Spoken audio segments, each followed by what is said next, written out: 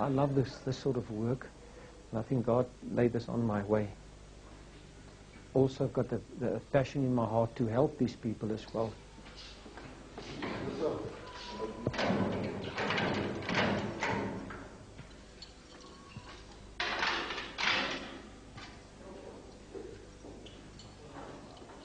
Since being in prison, Morris has converted to Christianity. Kobus sees this as one of the great success stories in his crusade against Satan.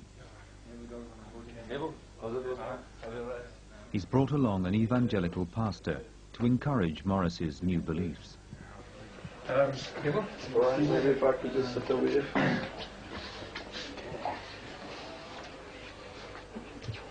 Um, I'm here basically uh, also with investigation in another matter.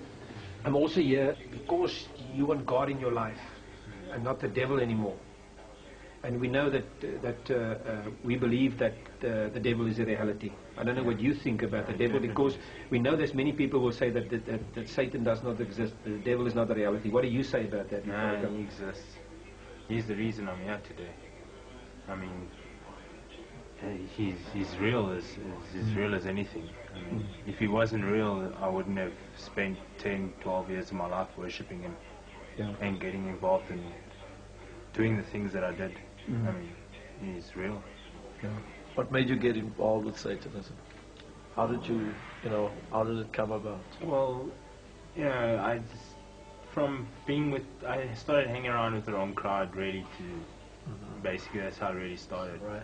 And um, uh, from listening to them and stuff, they said that Satan promised you all these things like money and popularity and that kind of stuff, woman and you know all the kind of things when you're growing up you kind of long Looking for.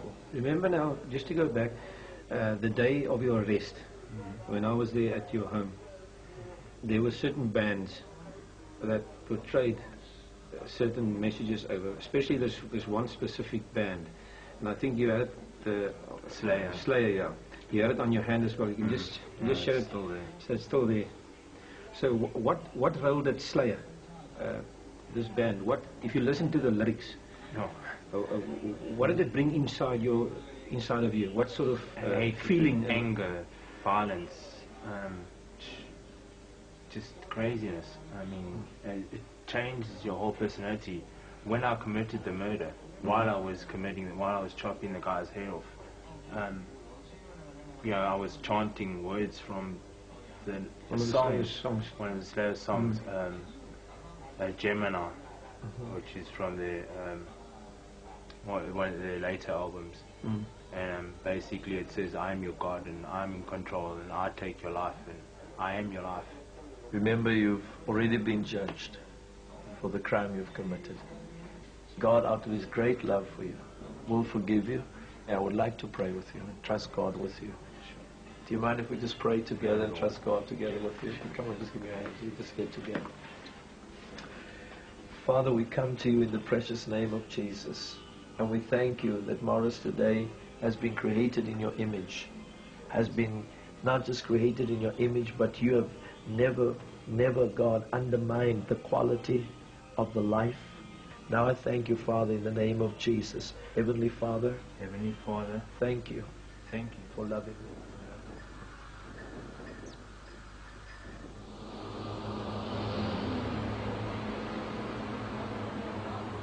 At police headquarters in Pretoria, Rietta's been studying the identikit of a young woman who sent the note in the Rena Radloff murder case. Identification plate forms that you must have them for at Magaliesburg. Until now, the police suspected that the woman was either Martin Radloff's daughter or his wife, Antoinette. Rietta's convinced the identikit looks more like Antoinette. Kobus and Rietta are now planning to go to Magaliesburg, where the note was posted, to see if the postmistress can pick out Antoinette from a selection of photographs. Bye-bye.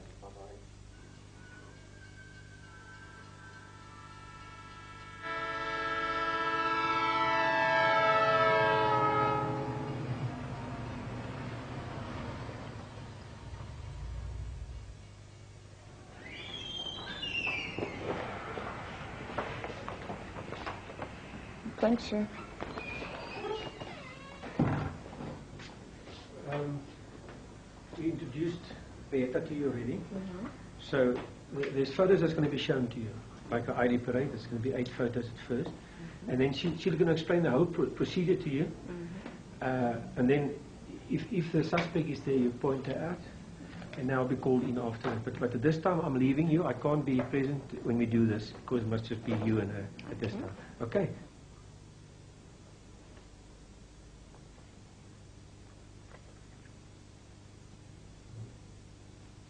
Okay, you can turn around. So in, you start from number one on that side. You turn them around, have a look at it before you turn the next one. Okay, and then up to number eight, and only then you tell me if if the, the suspect is amongst these photographs. Okay. Photographs of Antoinette are in positions 6 and 8.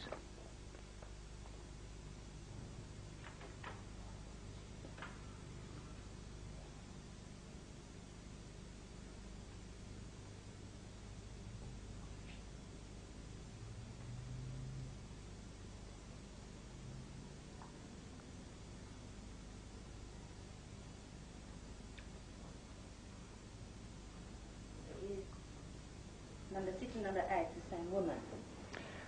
I'm actually not allowed to um, Okay, if to she's say. the same woman, then I'll pick her. Number six and number eight.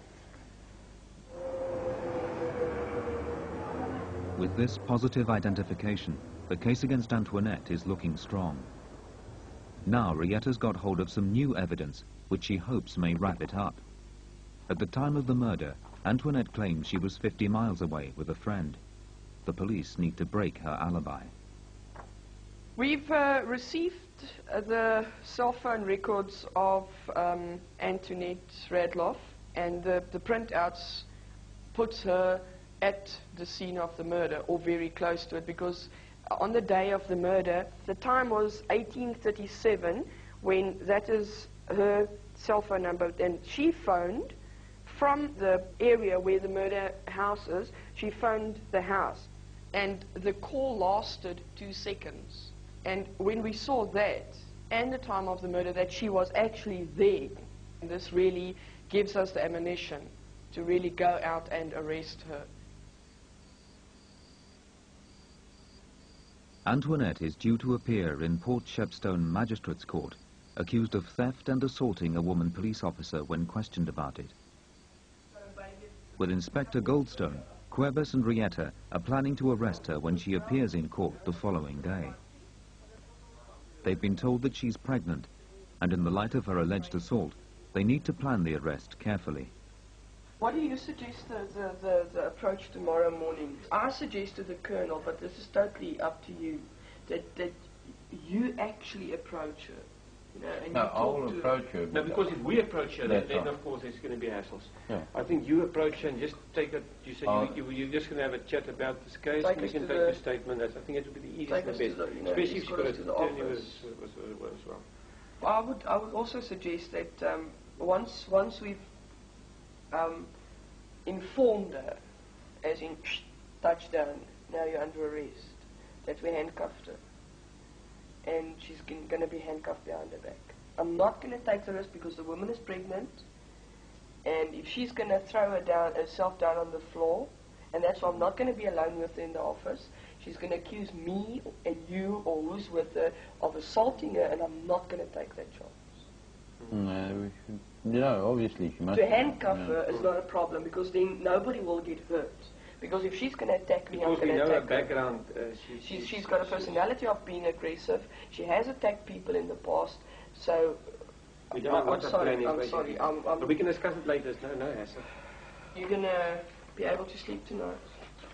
Well, I haven't been I mean, sleeping keep- too well the last. I don't, I don't know if he's cast a spell on me or something. No, but, uh, no, no. Both of so- us, I think they've all put a spell on us all. No, nobody puts a spell on me that will remain there. I promise you. I will not allow them to do that.